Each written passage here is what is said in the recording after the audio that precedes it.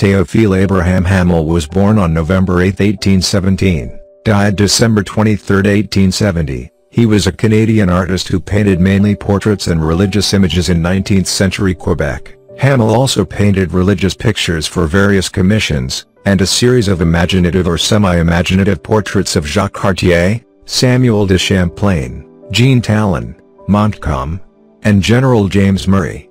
It is estimated that Hamel painted more than 2,000 portraits during his lifetime.